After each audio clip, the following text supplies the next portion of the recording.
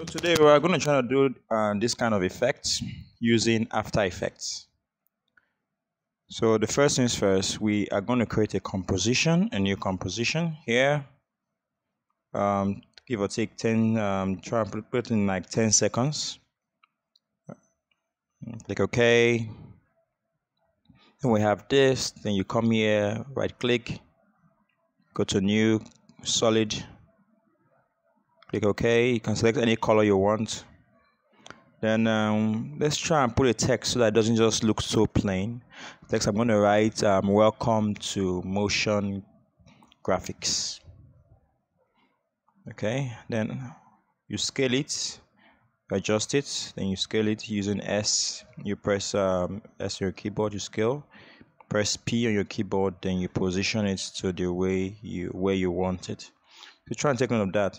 The next point is that you get your um, pen tool. Ensure that it is solid, the fill is solid, and the stroke is solid. Then you draw just two points line. Then um, you try and move the position by clicking P then you put your keyframe here.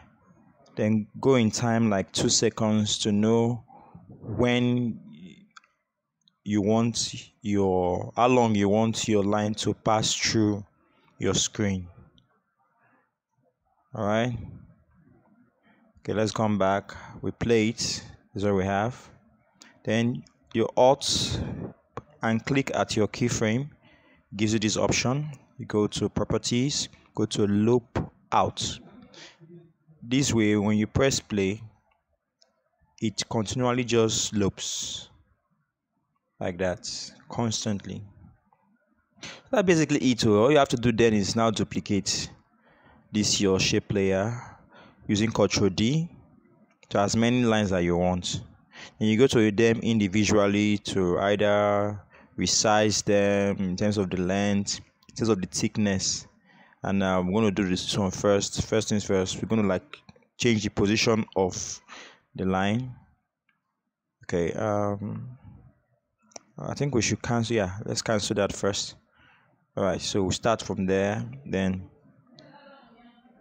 stay like um further down two seconds.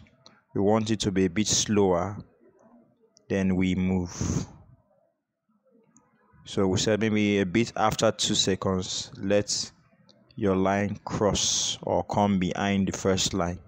Because our loop is already active, that's why we have that red color there. It is still going to be looping. Come to the next line. We cancel it. We change the position of that line. And then we thicken it a bit so it's a bit thick than the other one. Then um, we shorten this line. Go back to the pen tool then shorten it back. Then let's shift it position. Let's shift the line close to the edge. All right. Then we put our keyframe.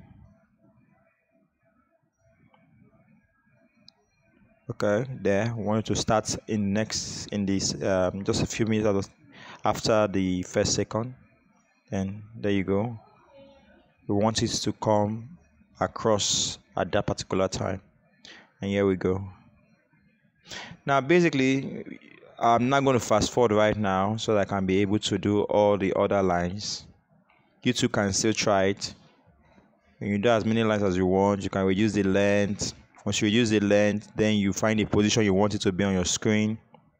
Then you basically just the time frame you want it to go across your uh, screen. As long as your loop out is there from the duplicate um, shape uh, line you did in the first place it will just automatically be looping. So you make sure that your looping is set in the very first um, line you create so that you don't have to be doing it all the time for all of them so that's basically it. So by the time you are done is what you have